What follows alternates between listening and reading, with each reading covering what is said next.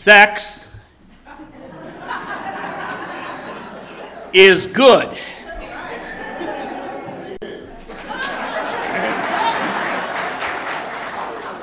At least according to some parts of the Bible. In Proverbs 30, there are three things that are too amazing for me, four that I do not understand the way of an eagle in the sky, the way of a snake on a rock, the way of a ship on the high seas, and the way of a man with a maiden. Ecclesiastes 9 Enjoy life with your wife, whom you love. Now, the Song of Solomon actually gives you instructions how.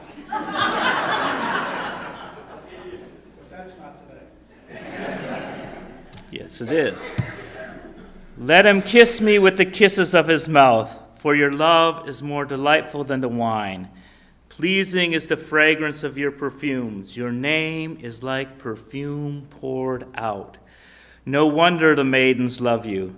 Take me away with you. Let us hurry. Let the king bring me into his chambers.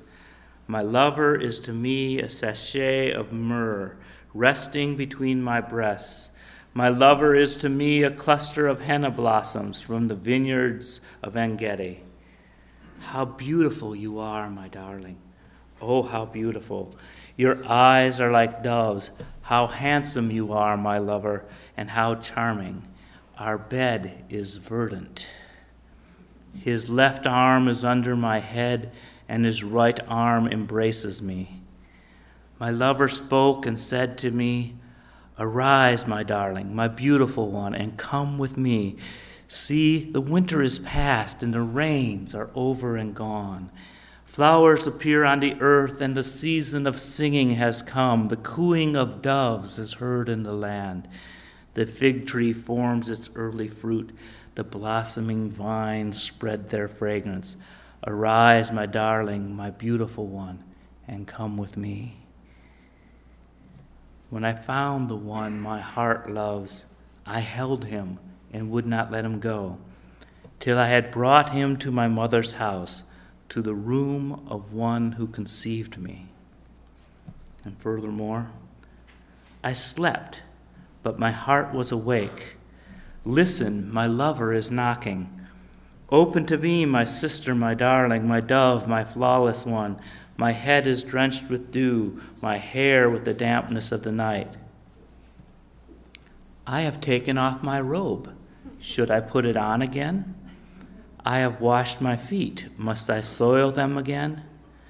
My lover thrust his hand through the latch opening. My heart began to pound for him. I arose to open for my lover, and my hands dripped with myrrh, my fingers with flowing myrrh on the handles of the lock. I think the lady was in love. Listen to the response of her beloved. Oh, how beautiful your sandaled feet, O prince's daughter! Your graceful legs are like jewels, the work of a craftsman's hand. Your navel is a rounded goblet that never lacks blended wine. Your waist is a mound of wheat encircled by lilies. Your breasts are like two fawns, the twins of a gazelle. Your neck is like an ivory tower, your eyes the pools of Heshbon. How beautiful you are, and how pleasing, O love, with your delights. Your stature is like that of the palm, and your breasts are like the clusters of fruit. I said, I will climb that palm and grab hold of the fruit. May your breasts be like clusters of the vine, the fragrance of your breath like apples, and your mouth like the best wine. If you think that passage is racy, consider these from 1 Samuel. Jonathan became one in spirit with David, and he loved him as himself. And Jonathan made a covenant with David because he loved him as himself. Jonathan took off the robe he was wearing and gave it to David, along with his tunic, even his sword, his bow, and his belt. And Jonathan had David reaffirm his oath out of love for him, because he loved him as he loved himself. And then later in the story, David came out of hiding. David arose out of the place towards the south and fell on his face to the ground and bowed himself three times.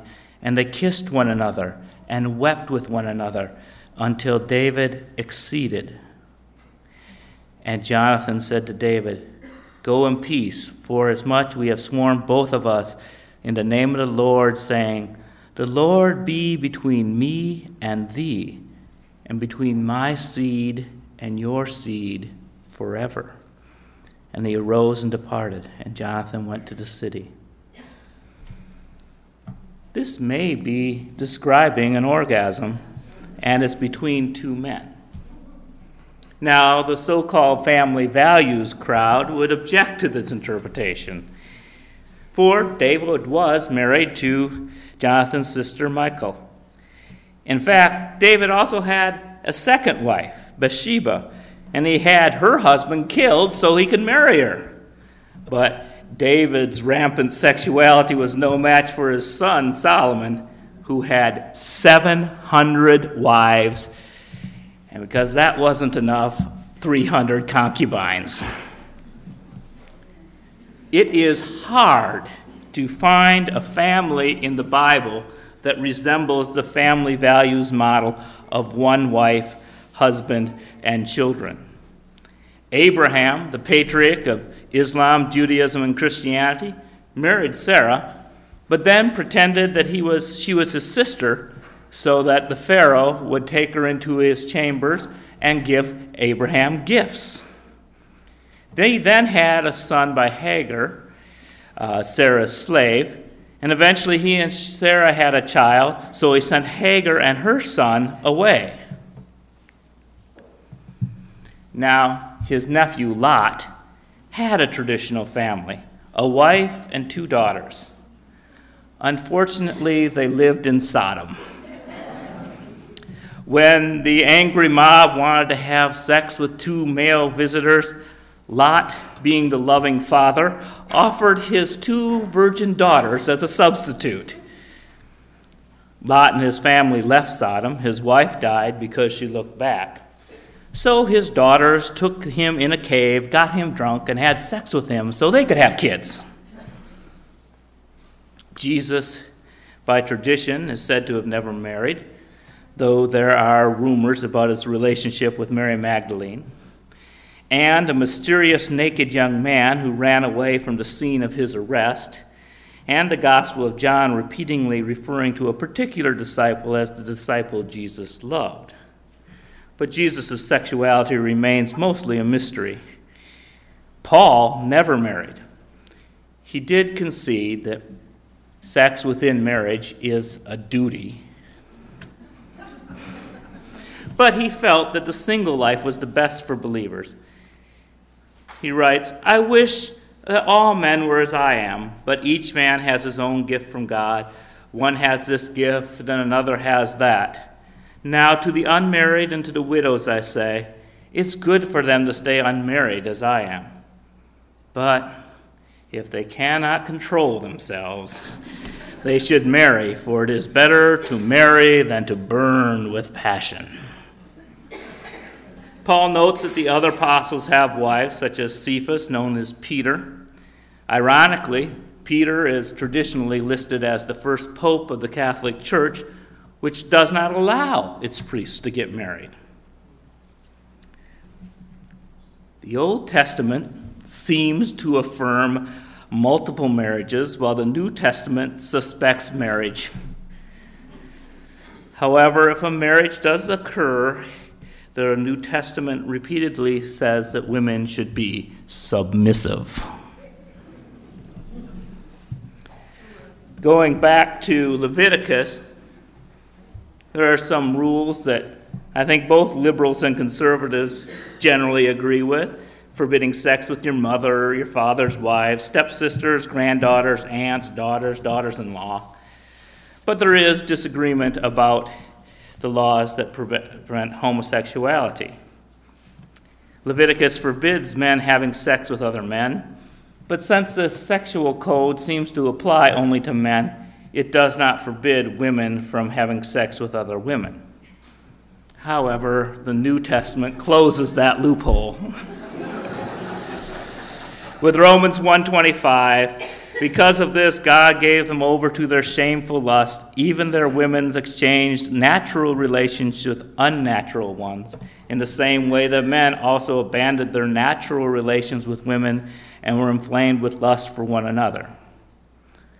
Of course, the gays and lesbians I know have told me that they have been entering into relationships that were nat- natural to them. When they tried to be straight, now that was unnatural. But putting aside any debate about what is natural or unnatural, we can be quite certain that the Bible stands against lust. Proverbs 6 keeping you from the immoral woman, from the smooth tongue of the wayward life. Do not lust in your heart after her beauty, or let her captivate you with her eyes.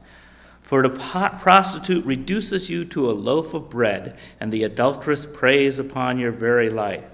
Can a man scoop fire into his laps with, with, into his lap without his clothes being burned?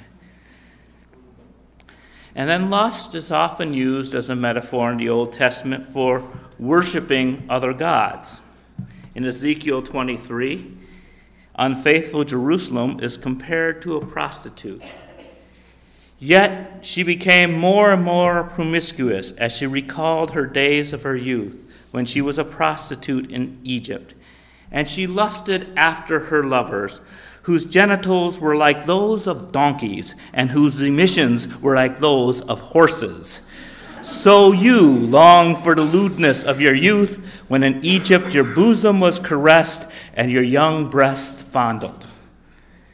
Sounds like God is a jealous God indeed. Jesus speaks about lust being equal to acting on one's lust. But I tell you that anyone who looks at a woman lustfully has already committed adultery with her in his heart. Just when it seems that sex drive is considered inherently bad, we can look back to the Song of Solomon. Come away, my lover, and be like a gazelle or like a young stag on the spice laden mountains. Of course, all this frolicking on the spice laden mountains may have its consequences. What happens if a woman gets pregnant? Is abortion permissible? Well, the Bible gives at least three affirmations of abortion. Jeremiah has the long suffering prophet cursing the man who did not kill him in the womb. In Numbers 5, if a man suspects his wife of being unfaithful, he brings her to the priest who gives her a solution to drink. I read from that passage. If she has defiled herself and been unfaithful to her husband, eh, then she is made to drink the water that brings the curse. It will go into her and cause bitter suffering. Her abdomen will swell, and her thigh wash waste away, and she will become accursed among her people. If, however, the woman has not defiled herself and is free from impurity, she will be cleared of guilt and be able to have children. This is clearly a termination of pregnancy when the husband thinks that the child is not his. What else would result in the woman becoming infertile? And then consider Amos 113. The people of Samaria must bear their guilt because they have rebelled against God. They will fall by the sword, and their little ones be dashed to the ground, and their pregnant women ripped open. Here, abortion and infanticide are commanded by God. God may be pro abortion, but he isn't pro choice. The women in all these circumstances have no say in the state of the fetus or their own body. Their body is the property of the man who claimed it. In Exodus 21, if men who are fighting hit a pregnant woman and she gives birth prematurely, but there is no serious injury, the offender must be fined whatever her husband demands and the court allows. Notice the fine gets paid to the husband and not to the woman. The Revised Standard Version of the passage reads When men strive together and hurt a woman with child so that there is a miscarriage, yet no harm follows. The one who hurt her shall be fined according as the woman's husband shall lay upon them, and she shall pay as the judges determine. If any harm follows, then you should give life for life. If this translation is to be trusted, then clearly the fetus is not equal to a life. Because life for life is given, but if the fetus is destroyed, it's only a fine, the same as if a goat or livestock is destroyed.